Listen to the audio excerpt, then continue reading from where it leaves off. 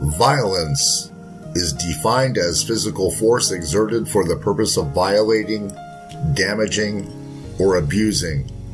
And sadly, violence is a part of everyday life.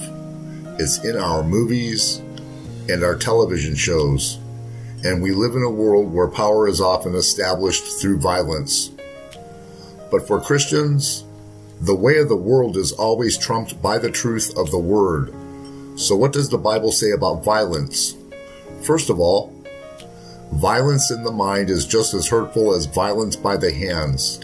Leviticus chapter 19, verse 17 says, Thou shalt not hate thy brother in thine heart. Thou shalt in any wise rebuke thy neighbor and not suffer sin upon him.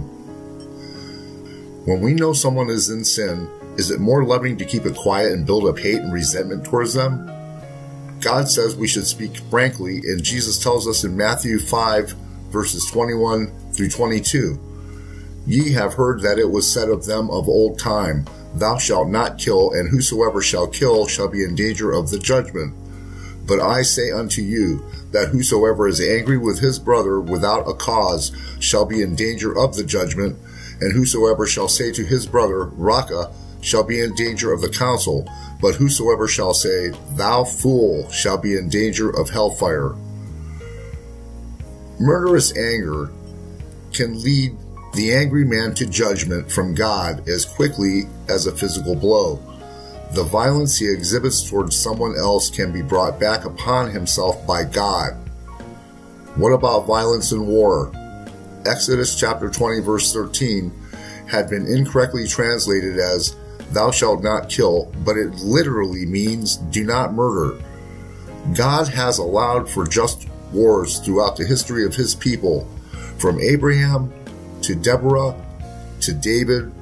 God's people have fought as instruments of judgment from a righteous and holy God.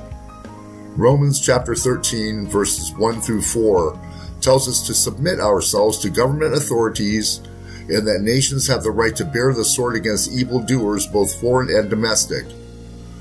Violence occurs, but we must recognize the difference between holy judgment on sin and our own personal vendettas against those we dislike, which is the inevitable outcome of pride. Therefore, pride compasseth them such as a chain, violence cover them as a garment.